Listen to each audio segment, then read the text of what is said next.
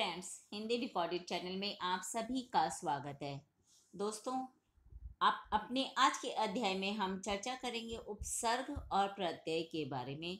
क्या होते हैं उपसर्ग और प्रत्यय, किसे कहते हैं और इनके कितने प्रकार के ये होते हैं? जैसा कि आप सभी जानते हैं कि आपने इंग्लिश विषय में पढ़े होंगे सफिक्स एंड प्रफिक्स। उन्हीं को हिंदी में हम कहते हैं उपसर्ग और प्रत्यय। और इन्हीं के बारे में विस्तार पूर्वक जानेंगे अपने आज के और अगले आने वाले अध्यायों में। आज हम चर्चा करने वाले हैं उपसर्ग के बारे में। जानेंगे उपसर्ग की परिभाषा और कितने प्रकार के होते हैं।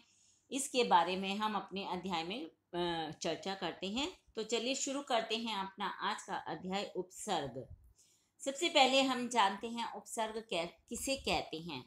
दोस्तों जो शब्दांश शब्दों के आरंभ में लग कर उसके अर्थ को परिवर्तित कर देते हैं, उन्हें ही हम उपसर्ग कहते हैं। यानी कि भाषा के वे छोटे से छोटा सार्थक खंड जो शब्द के आरंभ में लगकर नए शब्द का निर्माण करता है, उसे उपसर्ग कहते हैं। दोस्तों, जो उपसर्ग होते हैं, इनका अपना स्वतंत्र कोई अर्थ नहीं होता। किंतु जब भी ये किसी मूल शब्द के साथ जुड़ जाते हैं तो उनके जो मूल शब्द होता है, उसके अर्थ में परिवर्तन कर देते हैं या फिर उसे कुछ और विशेष बना देते हैं। जैसे कि कार एक मूल शब्द है, इसमें हमने उप, उपसर्ग जोड़ा तो हमारा शब्द बन गया उपकार। नाश मूल शब्द है, इसमें हमने वी उपसर्ग लगाया तो यह बना विनाश। समहार, हार एक मूल शब्द है, सम एक उपसर्ग है, इसको इसके साथ जोड़ा तो बना सन, संहार। इन शब्दों के आरंभ में जब हमने उपसम वी लगाया तो इन से बने शब्दों के अर्थ में परिवर्तन हो गया। दोस्तों, उपसर्ग चार प्रकार के होते हैं।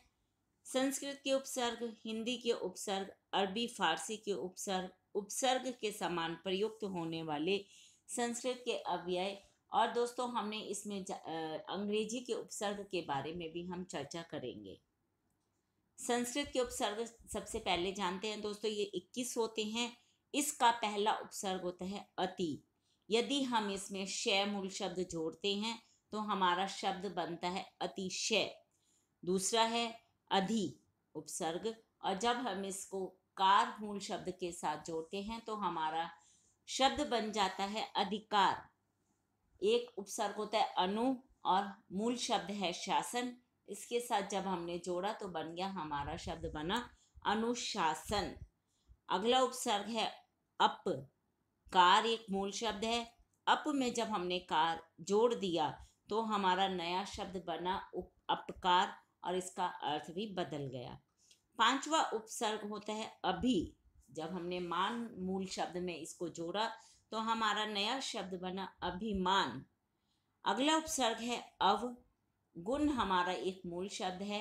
जब हमने गुण में अव उपसर्ग को जोड़ा तो बना अवगुण।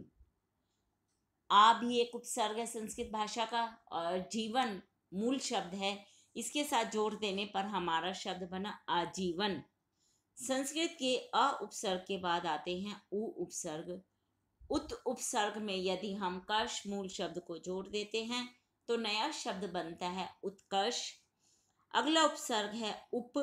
जब हमने कार मूल शब्द में उप उपसर्ग को जोड़ा तो हमारा नया शब्द बना उपकार। दुर जमा आचार एक मूल शब्द है, दुराचार। अगला उपसर्ग है दुस, साहस। मूल शब्द के साथ साथ जब इसे हमने जोड़ा तो बन गया दुस्साहस।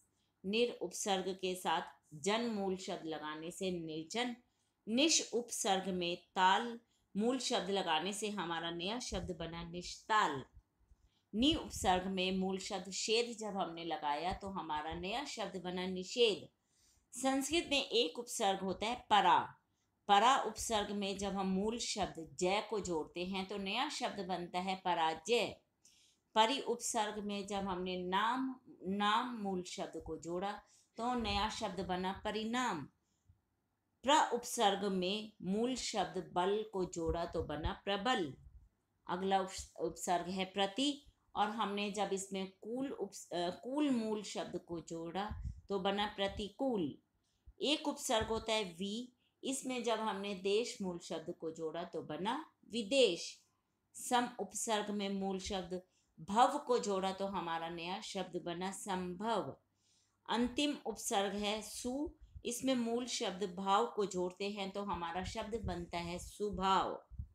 दोस्तों, ये थे संस्कृत के 21 उपसर्ग। आज अब हम जानते हैं हिंदी के उपसर्ग। हिंदी के टोटल 12 उपसर्ग होते हैं।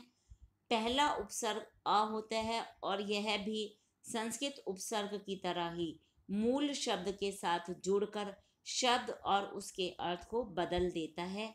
जैसा कि अ उपसर्ग में मूल शब्द जब हम भाव को जोड़ते हैं तो हमारा नया शब्द बनता है अभाव।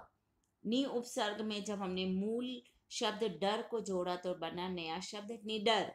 तीसरा उपसर्ग है अन, और इसमें पढ़ मूल शब्द को जोड़ने से नया शब्द बना अनपढ़। अगला उपसर्ग है कु मति के साथ इसको जोड़ा तो बना कुमति। अध के साथ हमने पका, मूल शब्द को जोड़ा तो बना अध अध पका। उन उपसर्ग में जब हमने साठ मूल शब्द को जोड़ा तो हमारा नया शब्द बना उनसाठ। औ उपसर्ग किसी भी शब्द के आगे जोड़ के उसके अर्थ में परिवर्तन तो करता ही है और साथ ही नए शब्द का निर्माण भी करता है। परंतु यह दूसरे उपसर्गों से कुछ अलग है। क्योंकि इससे बहुत से ऐसे शब्द बनते हैं जिनके अर्थ बिल्कुल ही अलग हो जाते हैं। जैसे कि, औ उपसर्ग में हमने रत शब्द जोड़ा तो हमारा नया शब्द बना औरत। औ उपसर्ग में जब हमने सिर्फ़ रा को जोड़ा तो हमारा नया शब्द बना और। दु उपसर्ग में जब अगला है दु उपसर्ग, जिसमें हमने धारु शब्द जोड़ा तो हमारा नया शब्द बना दुधारू बिन उपसर्ग काफ़ी मूल शब्दों के आगे लगता है। ये कॉमन मूल कॉमन उपसर्ग है। बिन जमा बादल, बिन बादल। बिन में हमने जब पाए मूल शब्द को जोड़ा तो बिन पाए। अगला उपसर्ग है भर। इसमें यह भी बहुत से शब्दों के आगे लगता है, जैसे भर जमापुर भरपूर। भर, जमा पेट, भर पेट। पर उपसर्ग भी बहुत शब्दों के आगे लगता है और यह अकेले भी प्रयोग किया जाता है। हिंदी भाषा में हम जब भी कोई वाक्य लिखते हैं तो पर शब्द का बहुतायत में प्रयोग करते हैं। किंतु यह एक उपसर्ग भी है और जब हमने इसे लोक मूल शब्द के साथ जोड़ा तो हमारा नया शब्द बना परलोक। हिंदी भाषा का अंतिम उपसर्ग होता है सु और जब यह भी बहुत से शब्दों के साथ प्रयोग किया जाता है, जैसे कि हमने इसे जान मूल शब्द के साथ प्रयोग किया तो नया शब्द बना सुजान, डोल मूल शब्द के साथ प्रयोग किया तो हमारा नया शब्द बना सुडोल। दोस्तों, ये थे हिंदी और संस्कृत भाषा के कुछ उपसर्ग। अगले अध्याय में हम चर्चा करेंगे उर्दू और फारसी भाषा के उपसर्ग, साथ में अंग्रेज़ी भाषा के कुछ उपसर्गों के बारे में भी चर्चा करेंगे। उसके लिए आपको मेरे इस चैनल को लाइक और सब्सक्राइब करना होगा। धन्यवाद दोस्तों, आपका दिन शुभ हो।